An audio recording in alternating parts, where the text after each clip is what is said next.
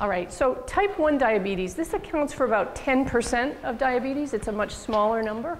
Um, the onset is usually before the age of 30. So most type 1 diabetics get diagnosed pretty early in life. This is an autoimmune destruction of pancreatic beta cells, and it requires lifelong insulin replacement.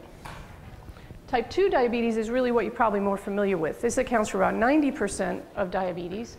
It's a heterogeneous etiology.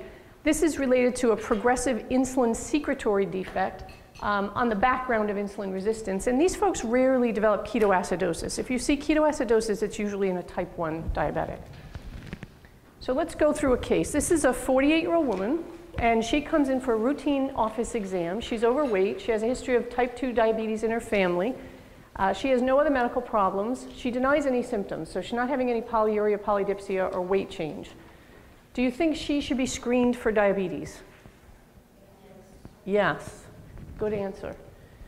So for type 1 diabetes, there really is no effective screening strategy. So even if there's a family history of type 1, type 1 doesn't necessarily run in families, type 2 does. So we don't screen for type 1 but we do screen for type 2. The ACOG recommendation for screening is a fasting blood sugar every three to five years in a woman with a family history of adult onset diabetes, a history of gestational diabetes, or obesity.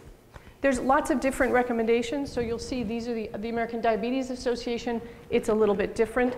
They recommend hemoglobin A1C in adults or fasting blood sugar of any age if they're overweight and they have more than one risk factor.